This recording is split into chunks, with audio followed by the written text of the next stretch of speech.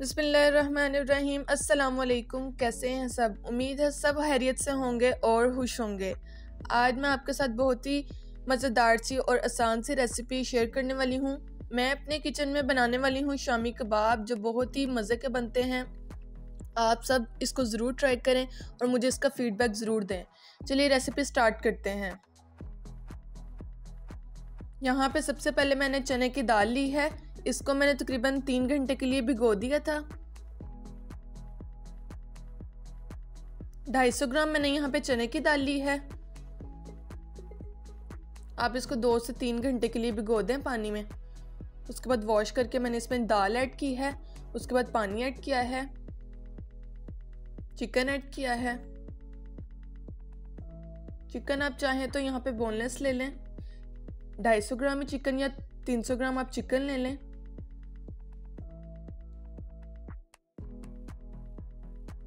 यहाँ पे मैंने कुटी हुई लाल मिर्च ऐड की है वन टेबल स्पून भर के। धनिया पाउडर ऐड किया है one tablespoon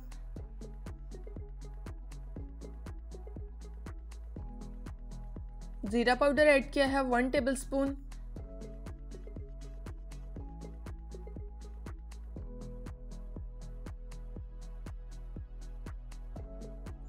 half tablespoon मैंने यहाँ पे हल्दी पाउडर ऐड किया है। नमक ऐड किया है।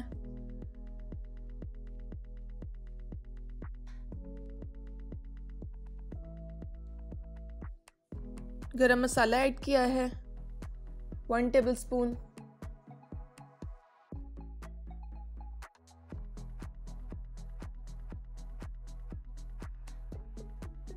ginger garlic paste add किया है वन टेबल स्पून अच्छा आप चाहें तो यहाँ पे साबुत चीज़ें भी ऐड कर सकते हैं बीच में। साबुत गर्म मसाले भी ऐड कर सकते हैं।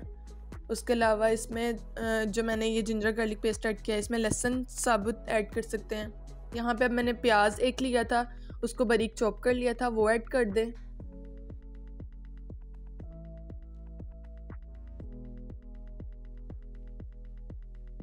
यहाँ पे हरी मिर्चें मैंने चार से पाँच अदद ऐड की हैं।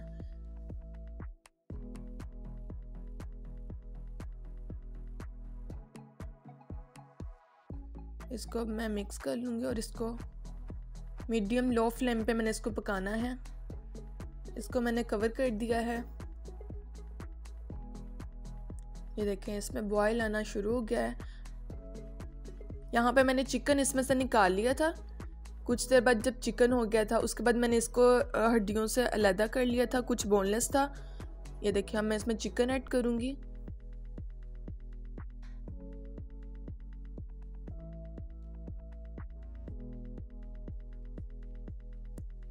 यहाँ पे मैंने चिकन और जो दाल का था, इसको मैंने ग्रैंड नहीं किया था, क्योंकि मुझे थोड़ा पसंद है कि हर बाइट में चिकन आया तो मैंने इसको मैशर से मैश कर लिया था और इसको इतनी देर पकाया था कि दाल उसके अंदर ही खुद बहुत सारी घुल गई थी पानी में।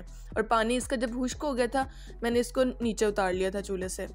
अब मैंने यहाँ पे एक अदद अंडा लिया है, हाफ़ कप मैंने धनिया चॉप किया हुआ लिया है, और दाल का मिक्सर जो मेरे पास है, इसको मैंने मैश कर लिया है, दाल और चिकन का। ब्रेड क्रम लिया है मैंने एक कप। चॉप किया हुआ धनिया लिया है, हाफ़ कप।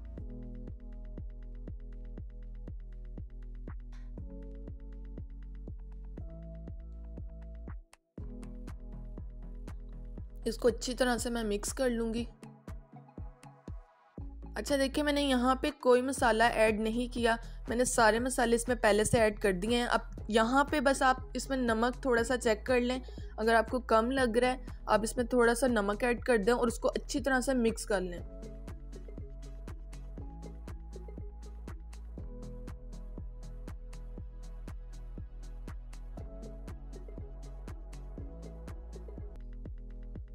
वन टेबलस्पून मैंने यहाँ पे दही लिया है, टू टेबल स्पून इससे इसका ना थोड़ा फ्लेवर बहुत अच्छा आएगा।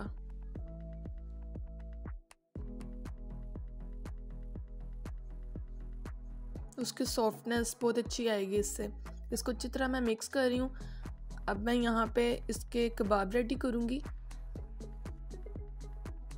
ये देखिए, इस तरह से आप चाहे तो हाथों को गीला कर लें या आप ऑयल लगा लें हाथों पे। लेकिन मेरे, मेरा जो ये मिक्सर था, ये बिल्कुल भी चिपक नहीं रहा था। क्योंकि हमने इसमें ब्रेड क्रीम शामिल किया है, अंडा शामिल किया है।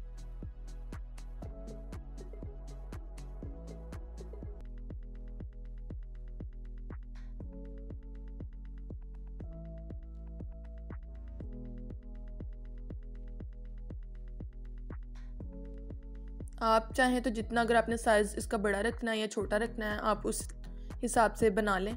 मुझे थोड़े बड़े पसंद हैं तो मैं ये बड़े बनाऊँगी। कुछ मैंने छोटे बनाए हैं इसमें।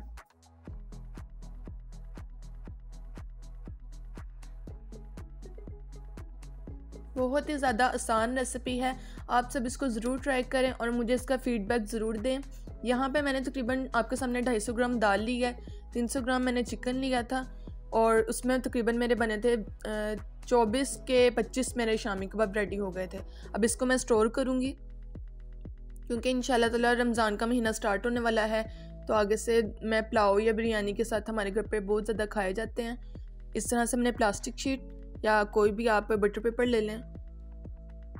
अब इसको मैं फ्रीज़ करूँगी।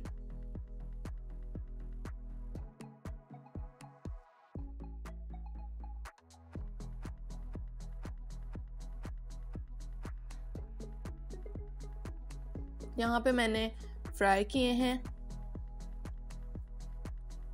इसको डीप फ्राई में नहीं करती क्योंकि उससे ऑयल बहुत ज़्यादा अंदर तक चला जाता है। बस दोनों साइड से मैंने इसको हल्का सा कलर दिया है। बहुत ही मज़े के क्रिस्पी से हमारे जो शामी कबाब हैं वो रेडी हो चुके हैं। आप इसको केचप के साथ या किसी भी चटनी के साथ इसको सर्व करें। बहुत ही जल्द नई रेसिपी के साथ आऊँगी। अपना बहुत सारा ख्याल रखिएगा।